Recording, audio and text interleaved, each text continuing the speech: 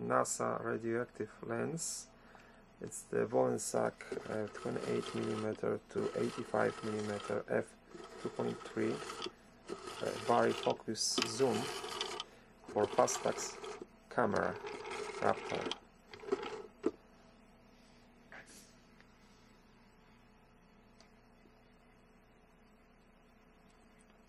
The front of the lens, uh, you see,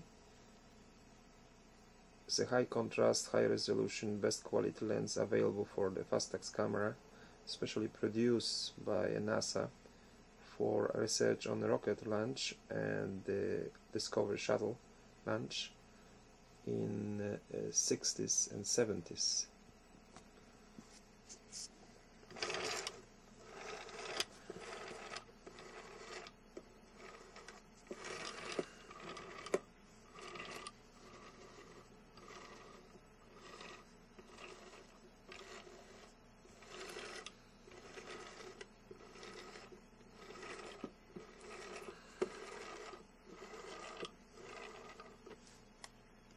My research, I'm using uh, Ludlum, Ludlum um, Model 398 uh, radiation detector and measurements that uh, detect uh, gamma and beta radiation from different objects.